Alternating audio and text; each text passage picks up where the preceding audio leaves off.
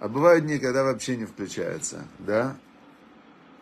Итак, дорогие друзья, все, мы начинаем наш урок. Хорошая неделя, книга Шмот, книга, глава, глава и Шмот, и день второй, день второй. Книга Шмот, глава Шмот, начать запись. Поехали. Все, все работает, все работает. И в Телеграме все работает, и в Фейсбуке все работает, все работает. Бывает не с первого раза, но главное же в итоге, что все получилось. Все смотрим по концовке, правильно? Хорошо, хорошая неделя, начинается у нас сейчас э, неделя, уже второй день недели у нас сегодня, да, первый день недели был воскресенье. И сегодня, чтобы у нас был урок э, Лейлу Нишама Борух Бен Авраам, чтобы ему там было все хорошо. И для полного выздоровления, всех, кто нуждается в выздоровлении, прям можете назвать имена, чтобы все, кто нуждается в выздоровлении, чтобы им была сила выздороветь. Сила, сила, энергия, сила, духовная сила духовного выздоровления и материального выздоровления. Все. Значит, мы вчера остановились на том, Э, мы вчера остановились на очень важном вопросе, который задал вот Шалом. Он говорит, почему еврейский народ ушел в изгнание, в, ушел в рабство вообще в Египте, за что эти были все жуткие такие мучения, и второе, за что, то есть что они плохого сделали? Они пришли всего лишь в Египет по приглашению фараона, пришли, поселились и ничего плохого не делали. Но Бог еще Аврааму сказал, что твое потомство 400 лет будет пришельцами в чужой земле, и будут их угнетать и притеснять. И Авраам не задавал ни одного вопроса, не спорил, не молился, не просил за них. Он принял это как э, само собой разумеется, эти вот, э, вот эти вот ожидаемые учения для своих сыновей. А за жителей из дома он молился и просил за них. И вот э, в чем ответ? В чем ответ? Значит, ответ такой, что нам была понятна вся дальнейшая история.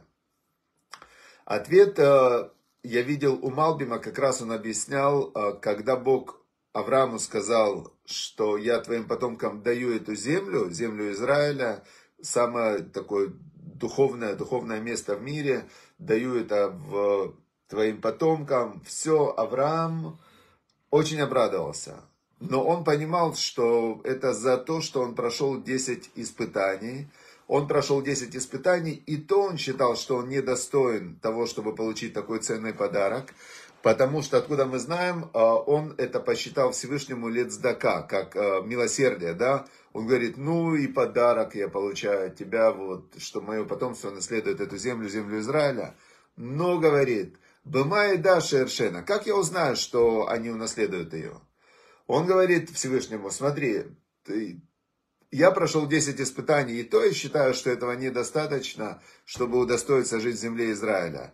А испытания были очень серьезные. От того, что его бросали в печку, до того, что он сидел в тюрьме, голод, э, жену забирали. То есть Авраам прошел совершенно страшные испытания, которые вообще не дай бог никому. Да, чтобы Лидия выздоровела, чтобы ей было полное выздоровление. И, значит, что Получается, что Авраам Богу задал этот вопрос, как я узнаю, что они унаследуют землю. Ведь они могут быть э, не соблюдающие, не очень хорошие, не проходить испытания, могут неправильно себя вести, могут, не дай Бог, вообще про Бога забыть. И что тогда? Как будет? Бог ему говорит, смотри, первое, принеси в жертву, и сказал ему принести в жертву телицу, барана, козла, крупного голубя и мелкого голубя. Он говорит, всегда есть момент, который называется жертвоприношение. Жертвоприношение – это когда ты э, приносишь в жертву свои желания, побуждения и телица, она обозначает, обозначает стремление к материальному успеху. Нет, телица – это стремление к удовольствиям, баран – это стремление к материальному успеху, козел – это стремление к власти и славе, э, голубь – это вообще, в принципе, вся, все твои инстинкты. Бог говорит Аврааму, в любой момент человек может принести в жертву то, что называется на современном языке мессерут нефеш, самопожертвование. Он может ради Всевышнего пожертвовать чем-то, и этим он удостаивается получить и вечную жизнь, и землю Израиля. Авраам ему как будто бы пропущен его второй вопрос. Он говорит, а если они не захотят делать никакое самопожертвование? Человек так устроен, что ему хочется делать то, что ему хочется. Какое там самопожертвование, какое там вообще усилие над собой. Усилие над собой это очень сложно. А тут еще усилие над собой ради духовности. Авраам говорит, что тогда? Бог ему говорит, тогда второй вариант. Они будут рабами 400 лет чужой земле, и их будут угнетать. Он говорит, тогда можно получить то же самое, но через внешнее давление. А, например, приведу вам сейчас пример. Вот а, когда тренировался, да, был спортсменом, то нужно было очень сильно работать, прям невероятно сильно, просто уни... свой органи... организм нужно было так нагружать, что просто капец как, а, значит, чтобы выходить на следующий уровень в развитии физическом. Теперь, если у тебя нету сил, да, то кто? Приходит тренер, и тренер тебя заставляет. Он тебе говорит, ты должен, он тебя заставляет. И ты тренируешься на тренере. Теперь было такое одно упражнение, которое, которое например, к тебе привязывали вначале колесо, шину, и ты бежишь с шиной, привязанной к тебе. Да, тебе сложно, а ты бежишь с этой шиной. Тебе очень тяжело. Потом, значит, ты бежишь в гору, тебе очень тяжело. Потом ты уже прям вырываешь, так тебе тяжело. Потом ты опять бежишь в гору, тебе очень тяжело. А потом тебя привязывают на веревку такую, и там моторчик, и мотор тебя крутит и тянет тебя вперед. И ты бежишь быстрее, чем ты можешь обычно бежать, для того, чтобы твой организм, э, ну, как бы привык быстрее двигаться. Получается, что с помощью разных внешних усилий заставляют тебя и твой организм двигаться в режиме, в котором ты сейчас пока не можешь двигаться, то есть ты выходишь за границы своего, э, своих возможностей, для того, чтобы потом ты э, восстановился и происходит то, что называется суперкомпенсация, и ты выходишь на, на новый уровень развития. Получается, что как, э, если мы сейчас вот про болезни, как человеку колят, э, колят прививку для того, чтобы он прошел минимальную форму болезни, чтобы его организм научился с ней справляться, чтобы потом, если приходит болезнь, он уже сильный, он может с ней справиться. Точно так же Бог сказал Аврааму, что пребывание в рабстве в Египте, оно является не наказанием за что-то, оно является тренировкой для чего-то. И он говорит, а потом выйдут они Берехуш Гадоль, выйдут они с большим имуществом. С каким имуществом они выйдут? Они, ну, физическое имущество они вынесли из Египта. В конце концов, египтяне расплатились с ними за все годы рабства. То есть перед выходом евреи взяли из Египта все золото, которое было в Египте. И потом в греческом суде, когда египтяне пришли и говорят, вот в Торе написано, вы забрали у нас все имущество, да, когда выходили так а, представитель еврейского народа в греческом суде, он говорит, давайте откроем несколько страниц раньше в Торе, и там написано, что пришли евреи в гости по приглашению фараона, а потом забрали в рабство их и заставляли работать 210 лет. Так если за эти 210 лет взять те деньги, которые им должны были заплатить, то то, что они вынесли, намного-намного меньше, чем то, что, чем то, что должны заплатить египтяне. И египтяне ушли из суда, значит, э, сняли все свои требования, потому что действительно это было так. Они забрали в рабство и потом расплатили за это рабство, причем не доплатили. А что с еврейским народом? Они шли из Египта получать Тору и шли в землю Израиля. Это огромная ценность. Написано в Талмуде, что три подарка дал Бог еврейскому народу. Тору, землю Израиля и вечную жизнь. И все три дал через страдания. То есть их можно получить только через страдания. Теперь получается, что они были, когда 210 лет в рабстве, они получили, то есть они заранее заплатили, потом получили. Человек, который сейчас приезжает в Израиль, некоторые жалуются, вот, не, ну не идет мне Израиль, не могу, я прям все мне здесь, все не идет. Почему? Потому что ты приехал, тебе дали деньги, гражданство, медицину, все тебе дали, а а ты еще и недоволен. То есть, как это? Значит, надо за это расплатиться. Расплатиться какие-то болезни, какие-то неприятности и так далее. Понятно, да, как это работает? То есть, Авраам, поэтому он не просил у Всевышнего, чтобы Всевышний простил и отменил э, это изгнание, потому что это изгнание не было наказанием, как жителям с дома. Жителям с дома это было наказание за их зло. А еврейскому народу это не было наказание, это было условие получения какой-то ценности. Хочешь получить ценность, значит должен отработать. В жизни всегда так.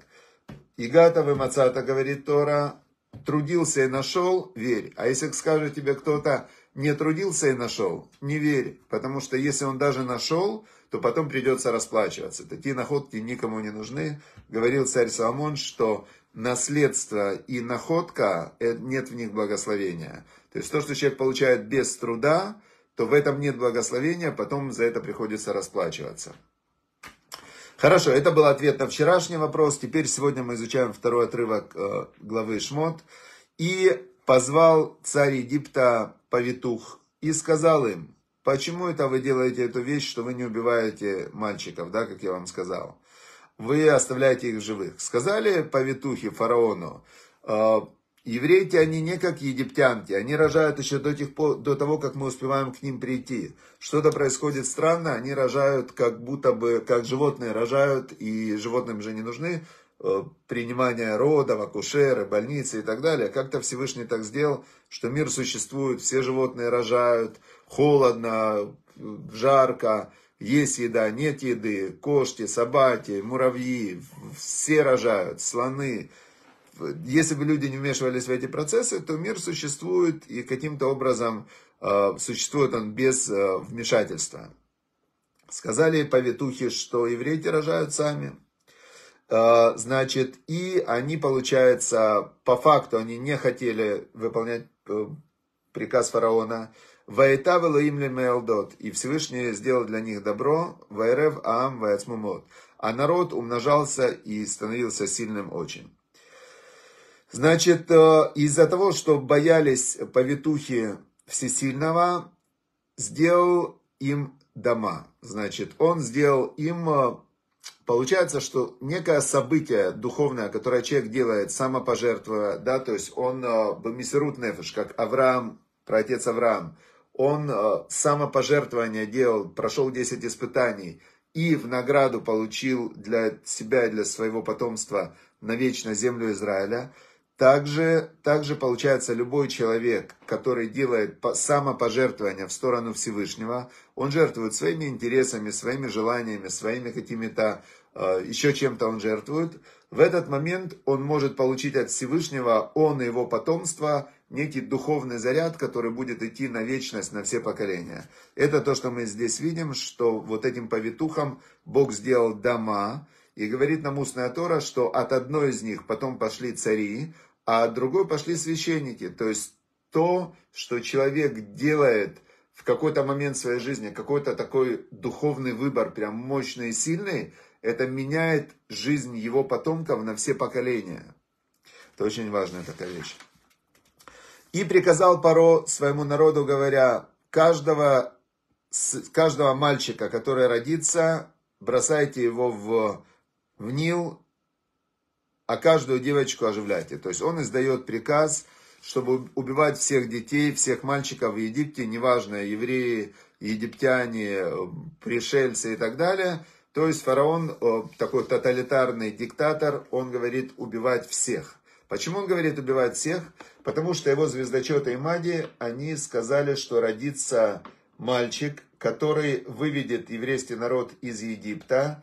И этот мальчик, э, он э, значит, э, эти звездочеты видели, что он родится, но у них был сбой какой-то в программе, они не видели, или он будет египтянином, или он будет евреем, потому что не видно было четко им, то есть они видели, когда примерно он должен родиться в этом году, да, а, когда, я помню, была передача, называлась она, называлась она «Экстрасенсы», да, экстрасенсы.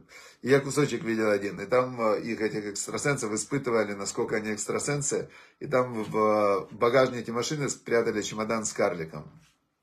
И выходили эти экстрасенсы, искали этот чемодан с карликом, и одна женщина такая вышла искать этот чемодан, разожгла свечи, расставила какие-то статуи, там она вот так делала, вот так, и он ей говорит, ну что, где, где карлик? Она говорит, сейчас я скажу.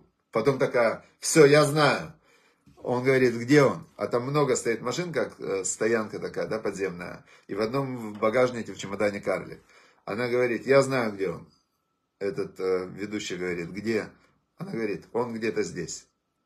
С таким, знаете, духовным таким вот лицом таким, он где-то здесь. И вот, значит, эти звездочеты египетские, они знали, что в этом году родится мальчик, который, который выведет евреев из Египта, и, но не знали, он будет египтянин или он будет, э, или он будет еврей. Потому что, ну, они не видели точно. И что? Фараон приказал убивать всех в этом году. Следующее начинается повествование. Вайлех Ишмибет Леви. И пошел э, человек из дома Леви и взял он э, в жены женщину из дома Леви. И забеременела женщина и родила сына, и увидела его, что он хорош, и спрятала его три месяца. Теперь одна короткая в письменной торе отрывок. Теперь как было дело? Когда ввели эту, эту, эту, это постановление, то глава колена Леви, это был Амрам, его звали, он был, э, колено Леви, это было колено священников, которые не были в рабстве. Это тоже очень интересно, что в Риме, в, не в Риме, в Египте очень уважали священников. И неважно, каких священников, они боялись людей, которые связаны с духовностью, и выделяли их. И в еврейском народе было колено Леви, которое, которое было выделено колено священников, и они не были в рабстве. И вот был Амрам, который был главный в этом колене, и он, значит, э, говорит, ну что мы будем делать? Если они убивают всех мальчиков, мы тогда разводимся с женами. И а, они дали женам деты, жены отдельно, мужчины ушли отдельно, и они не жили со своими женами, чтобы не было детей, чтобы не убивали мальчиков. Теперь подошла дочка этого Амрама, Мирьям ее звали, и ему говорит Мирьям, ты еще хуже, чем фараон, папа. Он говорит, почему? Потому что фараон сказал убивать только мальчиков, а ты, значит, являешься причиной того, что не рождаются девочки. А, и она ему сказала эту вещь, вещь глубокая, потому что кто управляет миром, фараон или Бог? Бог. Сказал фараон убивать мальчиков, но Бог же не сказал э, развести женами, не сказал. Значит, э, мы должны делать свое, так она ему сказала другими словами. И пошел Значит, Амрам, глава колена Леви, взял свою жену обратно. Этим написано, что у него же до этого было двое детей. Как же он пошел к ней и взял ее в жены? А у него уже было двое детей. То есть после развода он взял ее в жены и родила она мальчика. А как же его не утопили? Вот вопрос. Египтяне следили за тем, что когда рождаются мальчики, их надо убивать. То есть они следили за всеми беременными женщинами. Теперь, ну из-за того, что все евреи развелись со своими женами, а потом с ними заново через там какое-то время поженились, да, после Амрама, это сделали все остальные евреи тоже, то они начали следить с момента, когда они поженились. И считали, что через 9 месяцев мы, значит, э, через 9 месяцев мы всех мальчиков убьем. Так, такой у них был расклад. Хорошо. Но что мы здесь видим? Что она родила и Моше Рабейну, когда он был шестимесячный. Они, то есть еще шесть месяцев, они даже не ожидали, что будут роды. Поэтому она его родила, но они не ходили по домам, не искали. И три месяца она могла его прятать до девяти месяцев.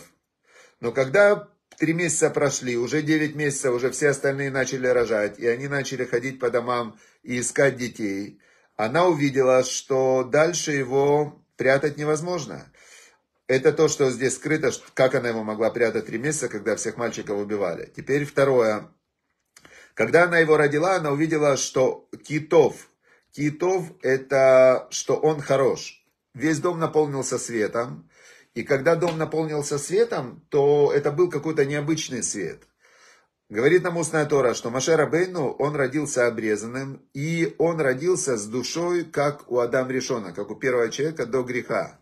То есть от него действительно шел такой духовный свет сияния. Он был уже приготовлен для того, чтобы исполнить свою миссию, получить Тору и вывести еврейский народ из Египта. Но главное это получить Тору. То есть он был как приспособен для этого. Теперь больше не могла она его прятать, и положила она его в э, Тыват гум, Гуме, значит, э, в тростниковую корзинку она его положила, и смазала его снаружи э, не такой вот смолой, а снутри глиной. И поставила она, значит, в, в Нил, в камыши эту корзиночку. Здесь тоже идет нам намек, что человек, э, жизнь как река. Вы знаете, да, этот намек, что жизнь человека как река. Невозможно войти в одну и ту же реку дважды, что действительно каждый момент э, жизни это новый момент, и ты в этом моменте всегда новый, и твое взаимодействие с жизнью, оно все время новое, обновляется. И обычный человек, он находится тоже как в некой корзинке. Тело человека – это вертикально ходящая лужа, в которой есть вся таблица Менделеева плюс 70% э, воды. И, значит, э, это тоже некая корзинка, в которой находится душа. И вся вот этот, весь этот процесс, когда она ставила ребенка корзинка, поставила его в Нил, в Нил, это как некая метафора жизни человека. И, значит, э, поставила она его и отпустила. И стояла его сестра издалека и смотрела, что будет с ним. То есть ей было интересно, что будет с ним. Теперь это тоже метафора, в которой сестра, которая стоит и смотрит издалека на душу, которая плывет в корзинке, это божественное присутствие, да, шхина, то, что называется божественное присутствие, которое смотрит, что будет с душой человека, пока он плывет по жизни, по реке в, в корзинке в своем теле. То есть, интересно, Бог смотрит, что, как оно будет, да, куда он пойдет. Выберет добро, выберет зло, выберет э, заповеди, выберет, э, э там, я не знаю, стать футбольным фанатом каким-нибудь, да, то есть, что он выберет. Э, Ветерет Бат Парой, спустилась дочка фараона э, на омываться в Нил, и с ней были ее служанки, и, значит, увидела она эту корзиночку в камышах, и послала она одну из своих служанок, чтобы взять эту корзинку, и открыла и увидела ребенка, и этот на, ребенок, она увидела от него такой духовный свет, он был очень красивый, и он э, на Арбухе, и он плакал голосом подростка. То есть она удивилась, такой вот маленький ребенок, а голос у него как у подростка. И она жалилась, э, ватахмоль алав, э, вот тут вот слово тахмоль, э, махила, она жалилась над ним, Малбим объяснил суть этого слова. Есть рахманут, есть милосердие, есть жалость, есть сострадание, это разные слова. И слово тахмоль это, это не милосердие и не сострадание, и не жалость, а это как, как он объяснил, а, Батахмоль, когда что-то прекрасное, и оно пропадает, и тебе, а, ты, это не жалость даже, ты хочешь это сохранить. И она увидела такого прекрасного ребенка, и она захотела его сохранить, несмотря на опасность. То есть она сразу поняла, что это из еврейских детей, которых надо топить. И, значит, она сказала, Миалде Евримзе, что он из э, детей, еврейских детей это, да, она решила его сохранить. А, Ватомар Ахото, и сказала его сестра, тут подбежала его сестра Мирям, которая следила издалека, к дочери фараона, и сказала, давай я пойду позову кормилицу из евреек. А, ребенок отказывался есть э, нееврейское молоко, говорит устная Тора. И второе, что сама вот эта принцесса, дочка фараона, боялась, что какая-то египтянка его убьет. А, значит, и вот это предложение, что пускай давай найдем кормилицу еврейку, очень ее обрадовало. И пошли они, значит, позвали. Сказала дочка фараона, иди и позови. И побежала эта девочка, сестра Машарабейна Мирям, позвала она.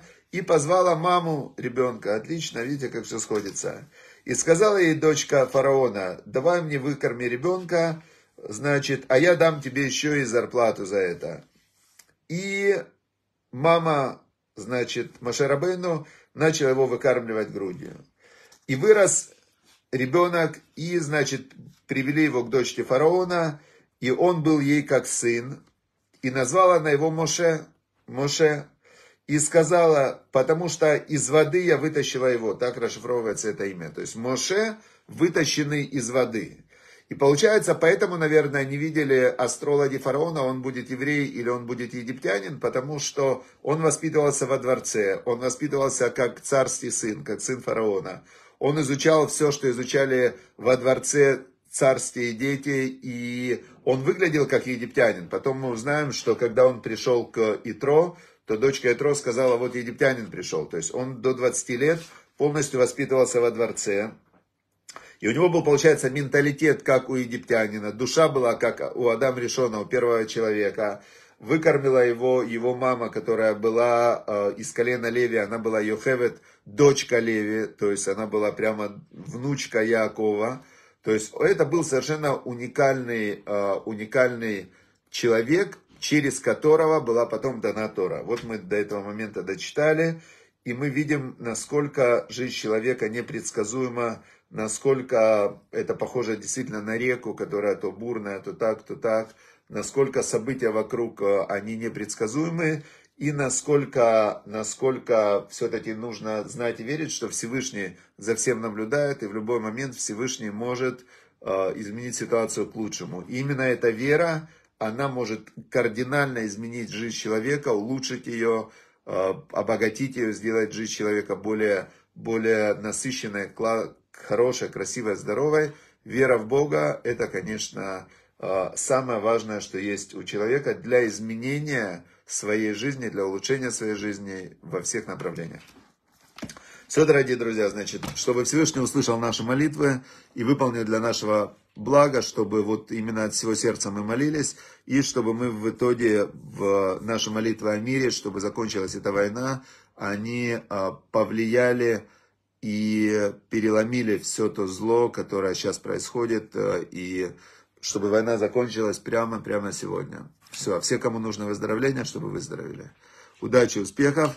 До завтра. До завтра. Счастливо.